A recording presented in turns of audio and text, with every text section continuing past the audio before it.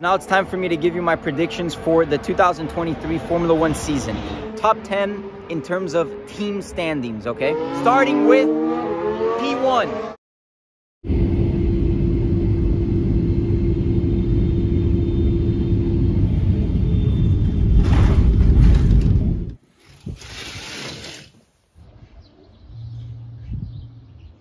Hey guys, so first of all, welcome to the channel. We have a Fittipaldi Brothers channel on YouTube, um, which is in Portuguese, and we decided to create this Fittipaldi Brothers uh, English YouTube channel because I got a lot of comments of people, you know, wanting to see the content um, in English as we show a lot of the behind the scenes in F1, F2, IndyCar, and all sorts of other racing. But for the first video on this channel, we're here for the Formula One 2023 preseason testing. I'm here with Haas acting as a reserve driver. I'm going to show you guys a bit of the behind the scenes and what we do on a day-to-day -day here at uh, you know preseason Formula One testing. Let's go. Starting off, F1 has this new uh, entrance to the paddock, which they've never had before. Pretty cool, pretty cool in my opinion. I was just out on the track, so radio. Put my glass in.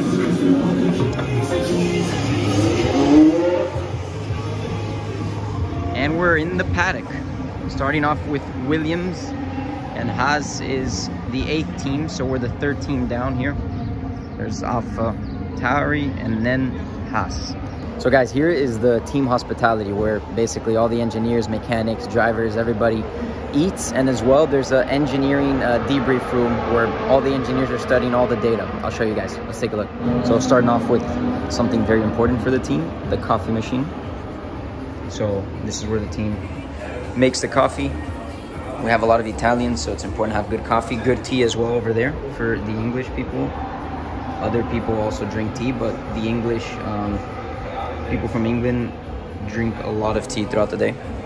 And that's our coffee machine. I'm not gonna make one now because I drank drank like three coffees already, so I'm gonna have to slow down a little bit. That is uh, where the engineers stay. They work, they analyze the data, make setup changes, and that's where we do all the, the briefings uh, with the drivers after the sessions. Hey guys, so here in the garage, uh, the team actually has a specific place just for the mechanics and engineers to be able to get like coffee, uh, hydration drinks, some fruits, and granola because sometimes they don't have time in testing to go back to the hospitality. So is the little room for it.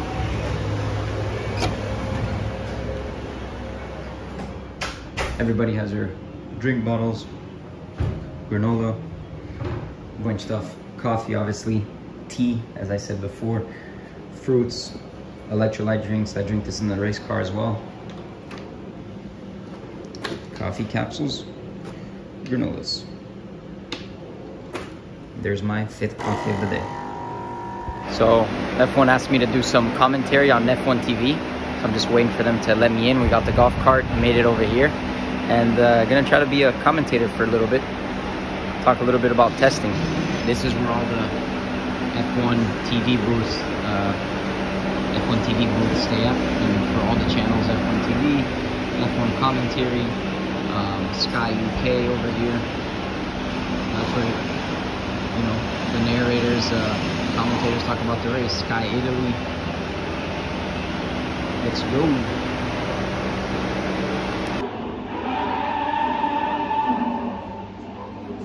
Give you a bit of an insight. And if you've been months, you know, kind of without training, or without being in the car, at least you have Friday where, you know, you have Friday, I got two practices, Saturday you have another practice, and you're able to kind of build up to it, you know, for the race and make sure you don't get too tired, but at least build your, your neck, kind of wake it up before you actually go into the race. Because qualifying and practice is fine, but it's more the race when you're out there for almost two hours that it starts giving out. And it gives out a lot in their braking.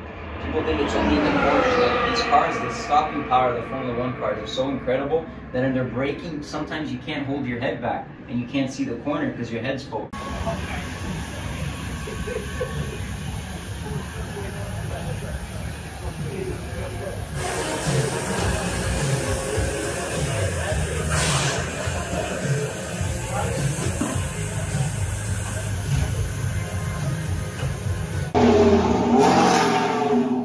Stop practice.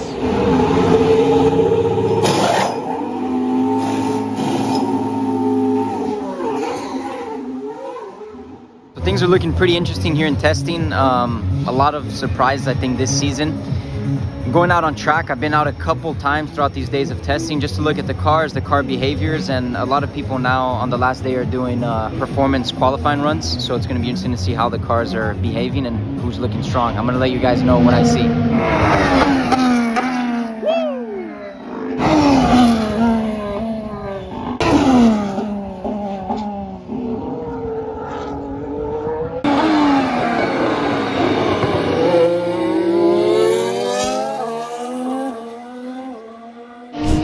So guys, we're out here on track. Sorry I'm screaming, but these, car these cars are super loud. Um, basically, throughout the three days of testing, um, you know, the team wanted me to go to some of the corners and be able to see the handling of the cars. Because sometimes when you're out on track and you're at the corner, you can see a lot more than looking at an onboard or telemetry. I mean, you can just compare to the other cars and look at some of the tendencies in the short runs, in the long runs. You can look at the tire degradation, the way the, the car is, is moving throughout the corner. So I've been all around the track. Right now, um, in turn one and turn two. That's where they're exiting now, turn one and then turn two. And uh, just been able to see, it's the last day of testing now. And we're able to really tell who are the strong guys uh, of this preseason testing, which most likely will be the same next week for the race. Um, and it's pretty interesting. I'll show you guys some shots a bit, not closer, but from my point of view over here.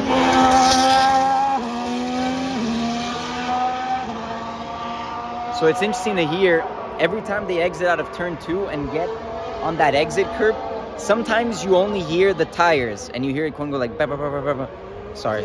Okay that was my uh, me trying to make a tire uh, noise. But sometimes you hear the plank touching and you can kind of tell that some teams are running the car. That was only the tire touching the curb but sometimes you hear the plank touching it and that means that team is running the car a bit lower and these are things you can't tell um, if you're not on track that was only the tire hitting the curb but I'm gonna find an example showing you the actual plank hitting the curb. It's a different sound. Guys, now it's time for me to give you my predictions for the 2023 Formula One season. Top 10 in terms of team standings, okay? Remember, I've been here following the preseason testing with Haas, um, but I'm not gonna put any bias to to what I'm what I'm saying. It's literally me um, giving you my predictions of what I've been able to see.